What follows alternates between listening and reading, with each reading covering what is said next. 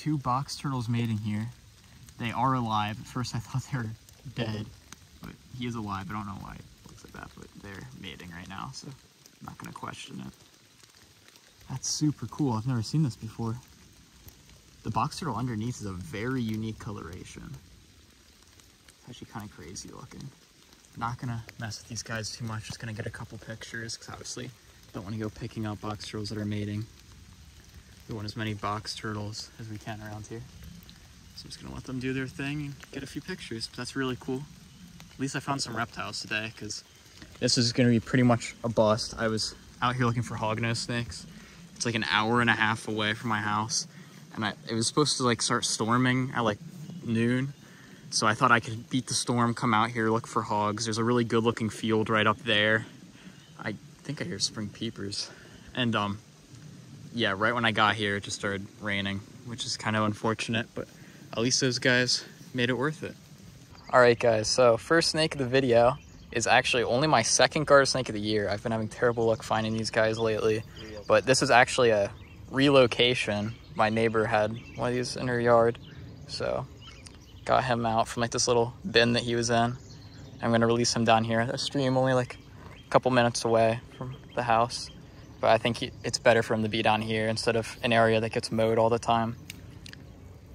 So I'm gonna release him.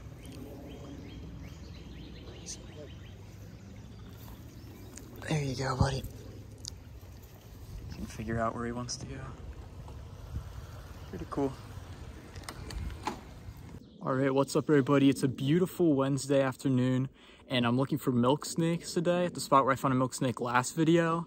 And I just wanna give a quick announcement real quick before I start searching. And that's that I actually recently published online a field herping magazine and I'm gonna put the link in the description if you guys wanna go check it out. I got a bunch of other herpers involved in it. Some wrote articles, some just like sending pictures, and I wrote a lot of the articles myself and designed it and everything. So if you guys wanna check it out, that'd be really cool. And uh, yeah, I'm gonna go search for maybe like three hours, see if I see what I can turn up. Hopefully some milk snakes today, that's the main target. I was out here last week only for like, like at this particular spot, at this talus slope, probably like only like an hour and a half and I turned up a milk snake and a ring neck. So hopefully in three hours I can turn up some stuff. All right guys, uh, first snake of the day was this rat snake. Sadly, he kind of slithered in there. And it would be, it'd probably hurt him to try to get him out, so. He's somewhere in there. He was under that rock right there. I wanted to get an in situ shot real quick. And then he just took off and I grabbed him as he was going around here. And he just went right in there. So, I mean, you, you guys saw his tail. That was a rat snake. Dang. All right, guys. well, I just flipped a snake. It is a freaking copperhead. Why am I not even surprised? I swear, every time I have a close call with a venomous snake, it is always a copperhead. I mean, okay, this guy's actually cooperating quite a bit. Like, I don't really think this was a close call, but like, I did put my hands right there, kind of in the direction his face was. Wow. All right, here's a better view of his uh, face. That is crazy. But that just goes to show copperheads are not out to get you, even though I think I've already proven that time and time again on this channel. I got scared for a second because I looked down at my hand right after flipping this rock and I had that gash, but it's definitely just from flipping the rocks. That was definitely scary at first. If this guy bit me, I'm sure I would have felt it. Oh man. That is crazy. All right guys, so here we have a red-bellied cooter, which is actually a threatened species in Pennsylvania. I saw three of these guys yesterday when I came to the spot, and this spot's like super close to my house. And I was just completely shocked that we had them here, and it makes sense, it's good habitat for them, but I'm surprised this guy's letting me get so close. Yesterday they just took off both times I came over here, but I, I got some voucher shots. Oh, looks like you're about to take off. really good look on. I at least got some voucher shots though, so I can upload those to the survey I'm a part of, because that's a pretty cool find since they're a threatened species here in the state. All right, what's up everybody? It's about a week later after I found that copperhead at that one talus slope and it's been like extremely hot the past few days, like in the 90s. I wasn't really able to get out much except to see that one red-bellied cooter, or actually a couple red-bellied cooters, but I didn't get many on video. I just got that one on video. But anyway, it's currently Tuesday and I'm actually laying down some boards that I've been hoarding. I'm finally laying them down. There's one right here. I kind of hide them the best I can so nobody moves them and also so nobody can see them like over like satellite imagery and stuff. But I mean, I have no idea if the spot's gonna be good, but it, it looks good. I mean, it's a power line cut and there's definitely a few rocks here, like some big rocks that I'm sure snakes might be under. And I just obviously would not be able to flip a boulder like that but hopefully there's like at least racers in the area that might utilize these boards. I only laid out a couple today because I, I actually couldn't fit a couple of them in my car, some of the biggest boards. Here's the best one that I have the highest hopes of maybe producing, or at least like a racer, like hopefully a milk, like, like a milk would be like the perfect thing that I'm targeting here, but who knows? Only time will tell. Probably give it like a month and then I'll come here and see if anything uses these. But I'm actually gonna check a little bit up there, probably like half mile away. There's, it looked like on Google Maps there was a huge pile of rocks. So I'm hoping they're small enough that I can flip and maybe turn up a milk snake today. It is a beautiful day. It's like high 60s. Like I, I don't know how much stuff will be basking right now. And I, I'm sure there might be some stuff because it is a nice overcast day which a lot of times snakes really like the overcast days. So yeah, I'll see if I can turn anything off by those rocks that I've scouted out. And then hopefully in the next couple months at least, one of these boards will have a snake under it. All right, guys, so first two snakes of the day, we got these two little ringneck snakes. I'm so happy to have actually found something. I'm in this beautiful looking habitat right now. It just takes like an hour to get to because the only way to really get here is to hike through that power line cut, which is all overgrown. There's poison ivy everywhere and thorns. It was kind of a nightmare getting down here, but I think that made the trip worth it. Just to at least know that there's snakes around here. And like, like this is literally like one of the only good rocks to flip, honestly. The rest of these are either way too big or like too far down the ground. But that one had these two guys under it which is a good sign. It might mean that, and there's probably milks around here. It's just a matter of finding the right cover. I, I might have to bring more boards down here, which would be a nightmare bringing them down here, but it might be worth it because there's definitely snakes around here. Like this is like perfect looking habitat. Yes, really cool. Two little ringneck snakes. All right, guys, so I just found this board here the other day and I laid it down in a better spot. I was not expecting to already flip something under it, but I kind of just flipped it like just in case. And there's actually a snake under it, which is kind of surprising. Just a little grumpy garter snake here. And for some reason, he's pissed at my friend who's just standing there. He didn't actually bite me yet, but he desperately wants to bite Nick. So I, I don't know why. I'm the one holding him. Yeah, pretty cool. Looks like, like he's gonna shed pretty soon. It's actually the first one I've found down the stream this whole year, which is probably not good. I'm hoping no one like came down here and killed a bunch of them. Yeah, pretty cool though. I'm gonna put this guy back in just a second. All right, we're just checking for garter er, for water snakes this one spot, and just found this garter snake out basking. Second one of the day. Pretty sure this is only like the fourth one of the year, which is kind of surprising. Holy crap. There you go, buddy. Not a huge fan of us. Alright, don't think there's any water snakes out, but I'll double check just to make sure. Alright guys, first find of the day, the spot that will hopefully have hognose snakes. I've been here a couple times this year and I haven't found any, but I can always rely on the wood turtles to at least make the trip worth it. This guy was right on the trail. I'm probably not going to film many of them today since I filmed a ton of them last video. All right, guys, I almost just stepped on the snake. I think this is a racer. I'm going to double check because I'm pretty sure hognose scales are slightly keeled and these are completely smooth. I was so close to stepping on this dude's tail. Holy crap. He's going all the way back there.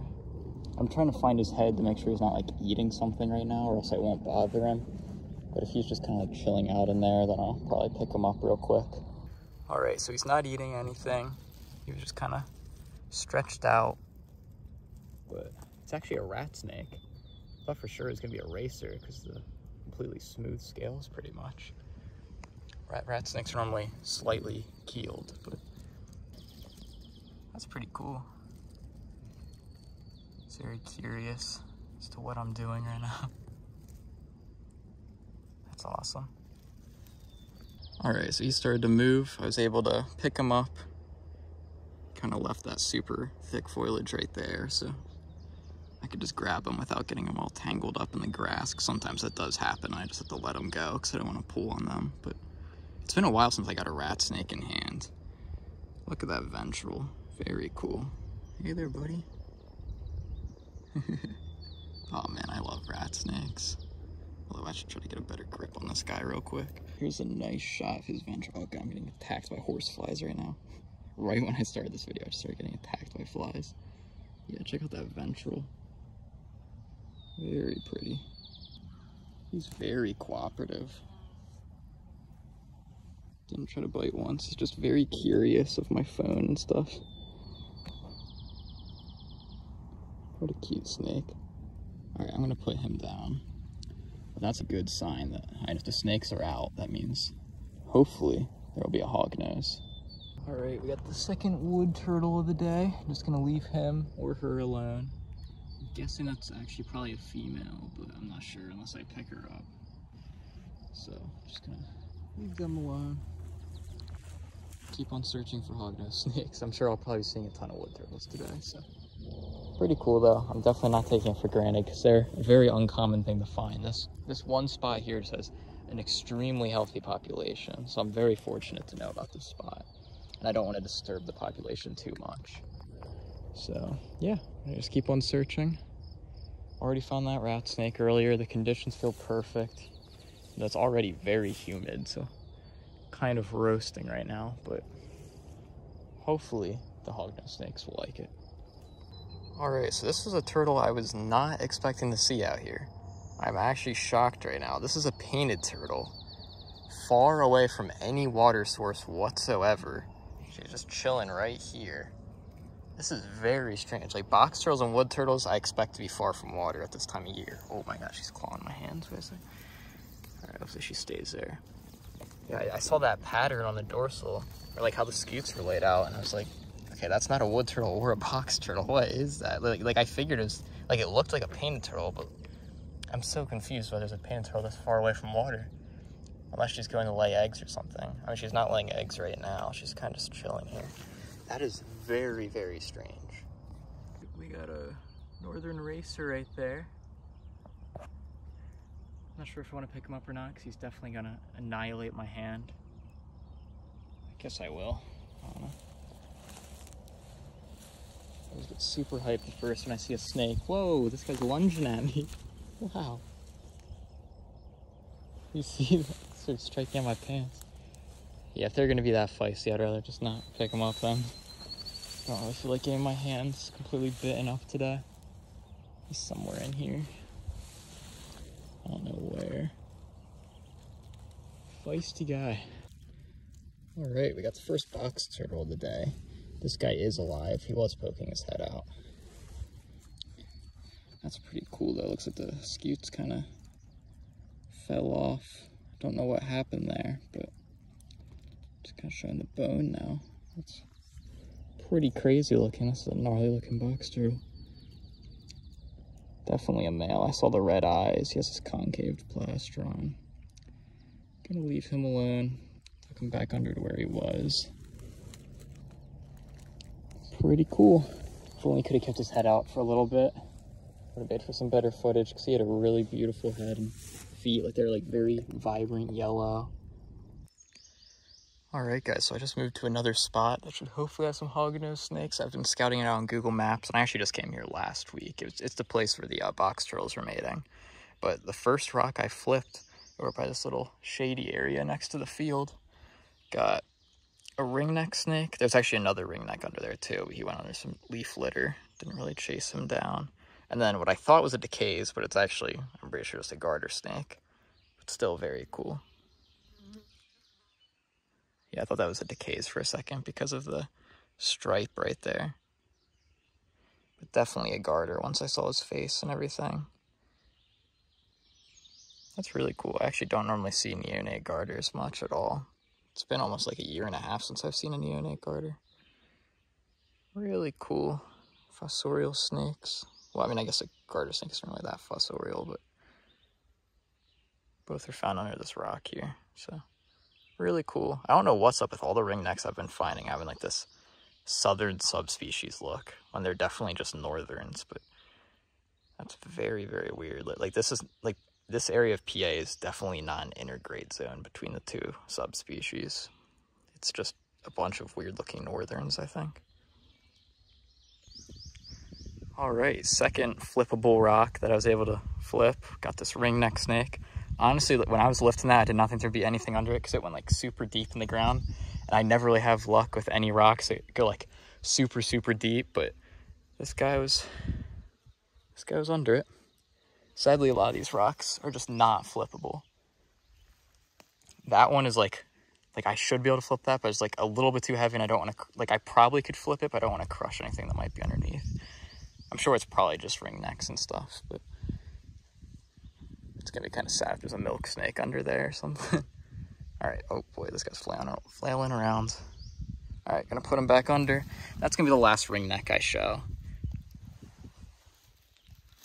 It's been quite a while since I've seen my last reptile, but there we go, box turtle. Hopefully she doesn't go in her shell. I'm not gonna pick her up or anything. There, you can get a good look at her. That's awesome. Box turtles are such beautiful animals. All right, we got a beautiful male box turtle here. Really beautiful. Let me see if I can. Pretty. Oh yeah, he's letting me get really close to him. Check that out. Wow. Box turtles are everywhere. I wonder how many box turtles that's been in just this one video alone. I feel like probably like four or five. Actually, I'm pretty sure five. On that mating pair. That's pretty cool. All right, so first reptile of the day. We got this box turtle. Been seeing a lot of them lately. Very pretty female.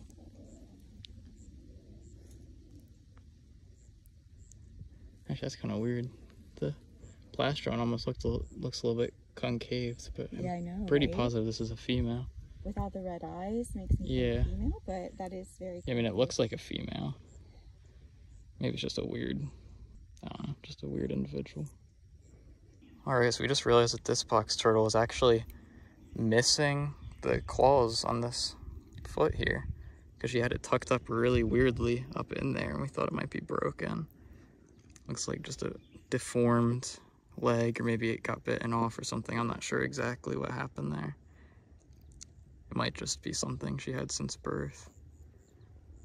Yeah, no claws though. Just a little stub kind of. But she should still be able to get around. At least she has three working legs. And that one can still support her a little bit and help her move. All right, we got a ringneck snake right here. Pretty cool, but you guys have already seen a lot of these this video. I just saw a pretty big garter snake too, but I wasn't able to get my hands on him. He kind of took off. Almost got him. And then I also saw it was probably a milk snake earlier, but I wasn't able to grab it in time because it could have been maybe a copperhead. Because I just a bunch of vegetation. And it was like the size of a copperhead, but it looked like it had a milk snake's pattern, so wasn't quite able to grab it. Kind of hesitated. There you go, buddy.